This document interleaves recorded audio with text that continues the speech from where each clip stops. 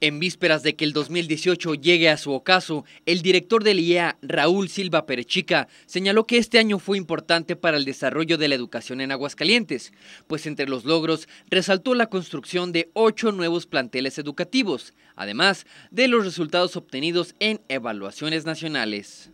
En relación a la educación básica, media y superior, estamos cerrando creo que de manera correcta 2018.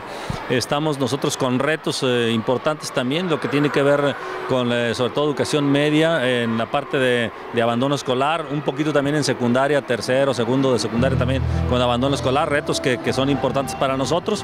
Nosotros eh, tenemos ya un proyecto, un programa para poder atender estos dos, dos temas que traemos como retos, pero en términos generales muy bien el año.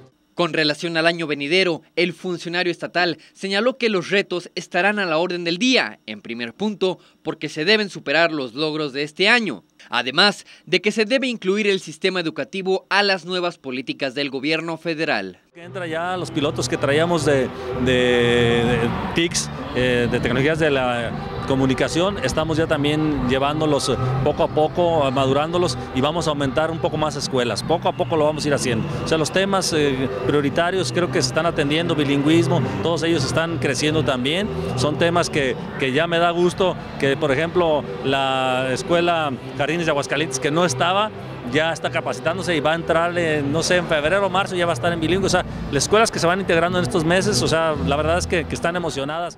Con información de Adrián Martínez, César Guzmán.